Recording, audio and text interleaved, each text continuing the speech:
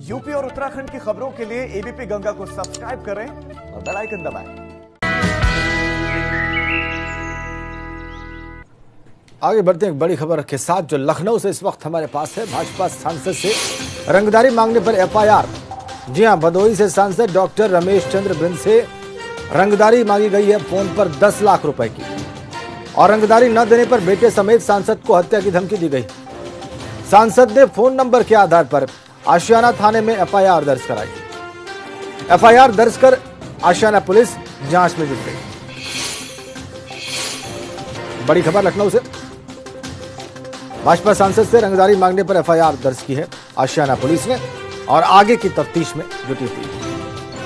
संतोष शर्मा हमारे साथ। संतोष शाह और क्या जानकारी आपके पास?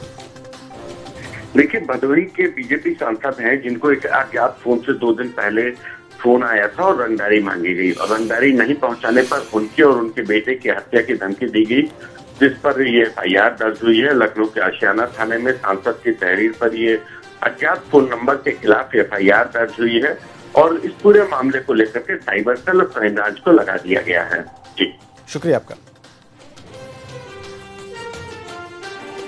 एक और बड़ी खबर आगरा से। पूर्व मंत्री को मारने की धमकी के मामले में एफआईआर दर्ज। थाना पिनाहट में पुलिस ने यह रिपोर्ट दर्ज की है।